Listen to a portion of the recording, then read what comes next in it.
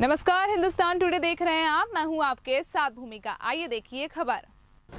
हवाओं के चलते बुधवार को तेज आंधी आने से वार्ड क्रमांक 17 में लगे गंदगी के ढेर से कचरा उड़कर पास में रह रहे रहवासियों के घरों में और दुकानों में पहुँचा, जिससे रहवासी और दुकानदार हुए परेशानी।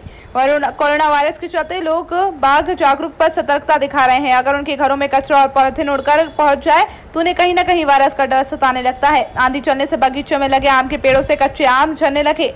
अभी कच्चे आम में चाली नहीं पड़ने से उनको ग्राहक नहीं खरीद रहे हैं, जिससे आम मालिकों का लाखों रुपए का नुकसान हो रहा है। चिनूर संवाददाता ज्ञान सिंह मौर्य की रिपोर्ट।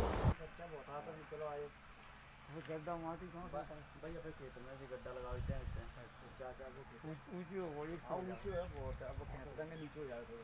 मतलब दाने की भी आ गई भाई साहब?